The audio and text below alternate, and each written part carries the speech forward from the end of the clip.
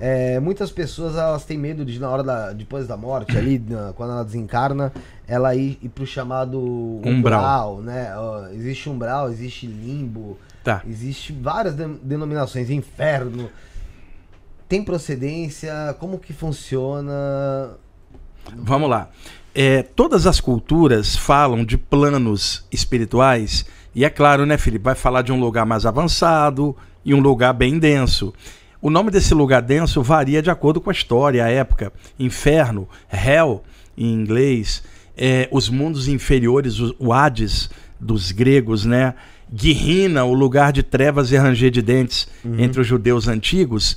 E na área ocultista, plano astral inferior, por exemplo, lá na teosofia, plano astral denso, até que chega aqui na área espírita brasileira, o André Luiz, na série Nosso Lar, conta que desencarnou, estacionou extrafisicamente num lugar bem escuro, pesado, para purgar algumas coisas que ele trazia de dentro e que não deixava ele bem. Ele era alcoólatra, era um médico genial, mas ele tinha muito Tinha problema com ele mesmo, ali, né? que ele tentava abafar com álcool, como todo mundo tem, né? Sim. Então ele fala que passou alguns anos ali até ser resgatado para a cidade do nosso lar. Então aqui no Brasil, o nome umbral ficou associado a este lugar denso, que é o mesmo que plano astral inferior. Felipe, muita gente aqui no Brasil passou a usar o nosso lar como uma referência absoluta de vida após a morte. Porém, ao longo do planeta, tem vários outros sensitivos que narraram coisas do lado de lá e outros espíritos que passaram mensagem contando sobre planos extrafísicos. Então, aqui no Brasil, como ficou o sucesso do nosso lar e merecido, ficou aquela história: ai, se eu morrer, eu vou parar no umbral. Ouvi dizer que a gente tem que passar por lá antes de chegar em planos espirituais. Não é verdadeiro, Felipe. Por quê? O corpo sutil, ele é dotado de alta plasticidade e ele tende a plasmar tudo que a pessoa pensar sobre si mesma. Se ela tem pensamentos luminosos, a forma do corpo sutil vai ficar brilhante. Se ela tem pensamentos muito grossos, a forma astral vai ficar mais obscurecida, mais densa. Como semelhante atrai semelhante, tudo que a pessoa pensa e sente se reflete na média energética dela.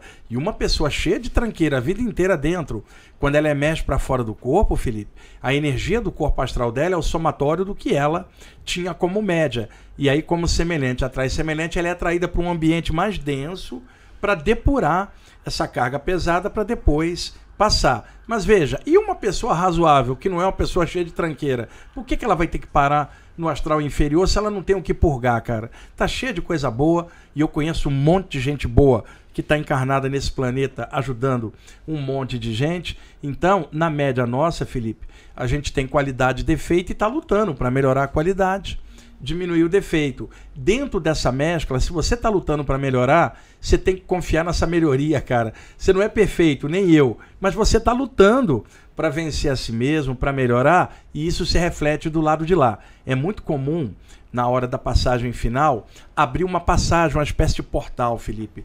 É, é um Stargate extrafísico.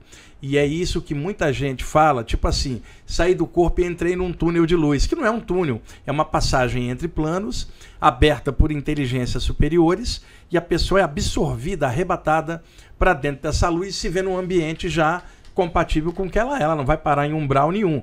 Então, quando se fala umbral, vamos deixar bem claro, deixa isso para quem está aprontando e fazendo mal. As pessoas não têm que ter medo disso não, Felipe. O que elas têm que ter medo é delas não lutarem, delas não trabalharem elas e ficarem enganchadas num monte de tranqueira. Se a pessoa está lutando, mesmo tendo defeito, mas está lutando e está indo em frente, pode ficar tranquila, semelhante atrai semelhante. Na hora H, ela vai passar para um outro ambiente que não é esse, porque não tem nada a ver com ela.